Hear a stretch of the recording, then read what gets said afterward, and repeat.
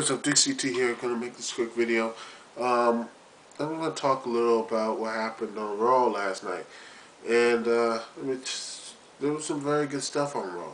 It's not gonna be a review. Um, I don't do Raw reviews, but I just want to get some of the cliff notes and ask what y'all opinions were of it.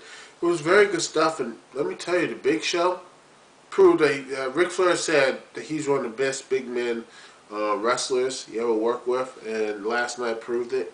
So, you know, he is, like I said, he's one of the best big men out there today. So, you know, I don't know why y'all hate on him, but, you know, maybe I'll make a whole video about um, the big show and why y'all, you know, the hate and everything. And I'm not saying y'all, the subscribers, or the people who watch my videos, but, you know, just underlying hatred of these um, the big man wrestlers and everything.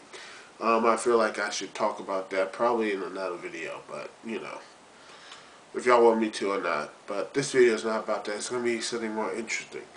Um,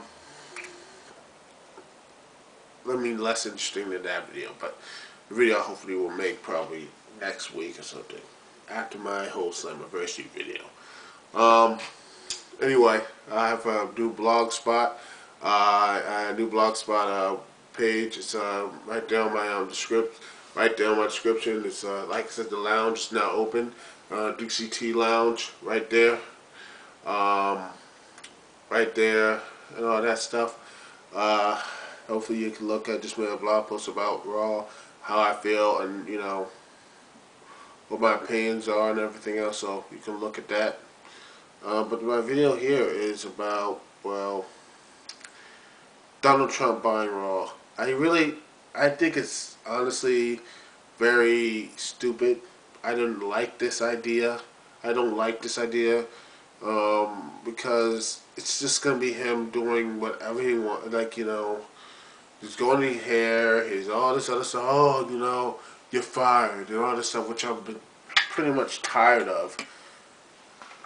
Of of um, since you know, like three or four years ago, but that's just me.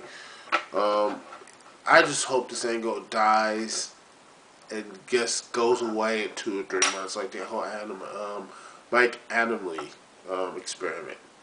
But that won't happen. It's probably gonna be here for a year, and they're gonna force it down our throats, and we're gonna like it, and it's gonna probably tie into the new Apprentice, and that's gonna get all the ratings. So. But that, that's my opinion. That's gonna happen. But I don't really like it. Most of the people I talked, uh, looked at videos, I'm very negative. Uh, I saw I didn't like it. In fact, I saw that stuff and him talking. I just switched to Joe Buck Live. He was doing an interview with Brett Favre. Very good interview with Brett Favre. Um, you know, Joe Buck's live show is okay. You know, he personally, I think he's a better interviewer than a guy who wants to do shtick all the time. But you know, that's my real mini review. He should just stick to um, just doing interviews. Be like a Bob Costas, but you know, be more of an individual and everything. More, you know, more. How do you say? More outgoing to the, um, you know, more with the people, because he is a, one of the best announcers ever, um, my generation. But you know. And that's a little review, mini review of Joe Buck Live. Because I switched that to, I could not watch the whole Mr. McMahon selling Raw. I yeah, hated it. I hate, I hated, I hated it. Everything else Raw was good and great. So, you know, just that's my just little ramblings, you know, about Monday Raw. Um,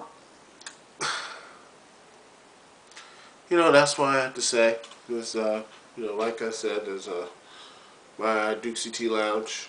Just go um, look. I might just put the link up to my video anyway, just to have my opinions about it. So, you know what I think of all that stuff. But, you know, having a pay-per-view match of uh, Triple H versus Randy Orton next week on Raw, a commercial-free Raw, basically a pay-per-view event. You know, but I have my opinions on that blog spot. Um, you know, Duke CT Lounge at blogspot.com. So I'm gonna put the link up. So you know, go check it out. Duke CT here. Peace, love, and I'll see you for my uh, Slammiversary uh, review. If not, sooner. Peace.